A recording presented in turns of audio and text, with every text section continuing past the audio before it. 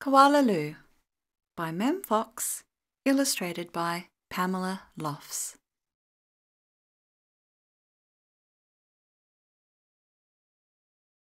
There once was a baby koala, so soft and round that all who saw her loved her. Her name was Koala Lou.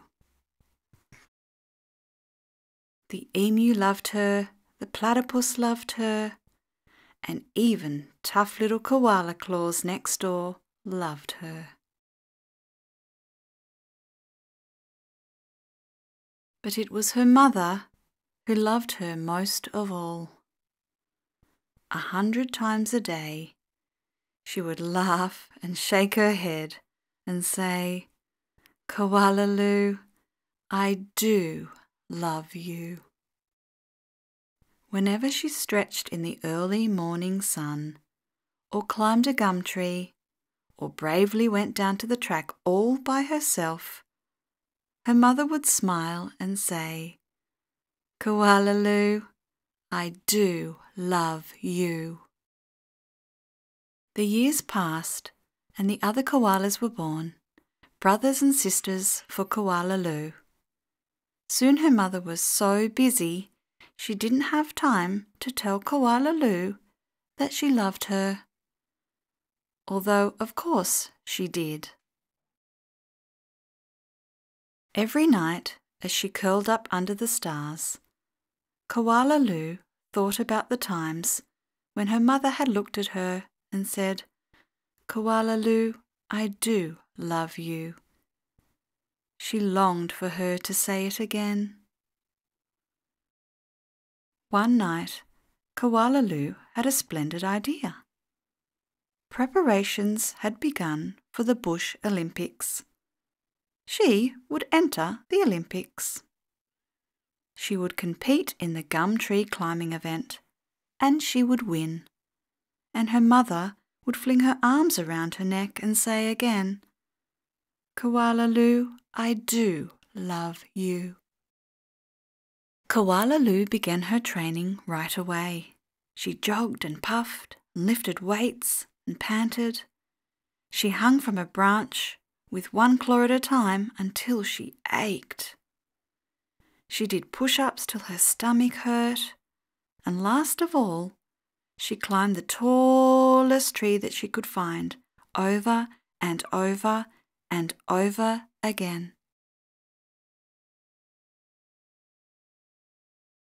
Sometimes her mother would watch her and ask, How you going, Blossom? Fine, just fine, Koala Lou would reply. At last, the day of the Bush Olympics arrived.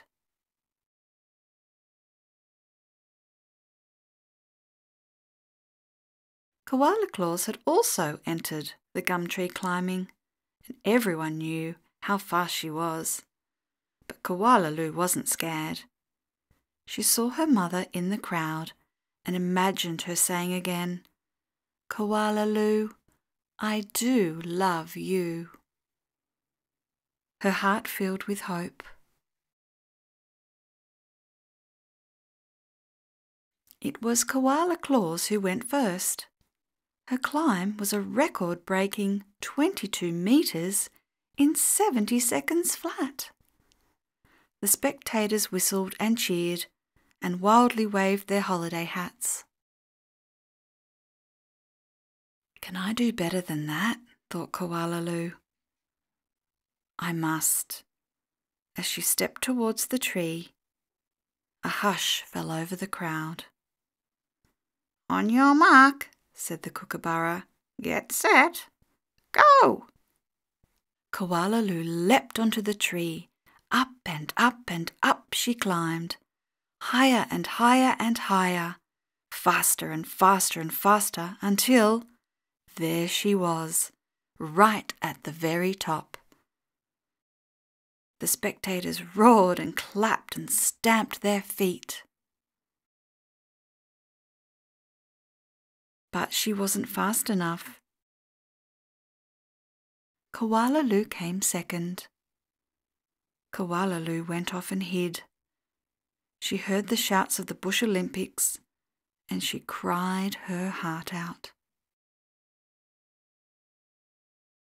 When the first stars of the evening appeared in the sky, Koala Lou crept home through the dark and up into the gum tree.